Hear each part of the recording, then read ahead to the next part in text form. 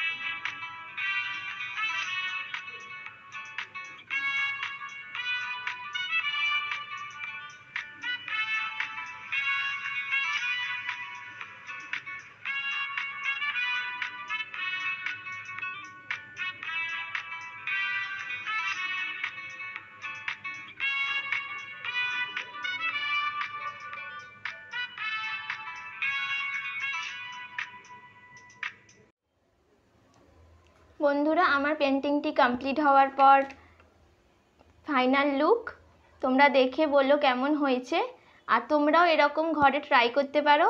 আর ভিডিওটি ভালো লেগে থাকলে লাইক শেয়ার আর চ্যানেলটিকে সাবস্ক্রাইব করো। আজকের মতো বাই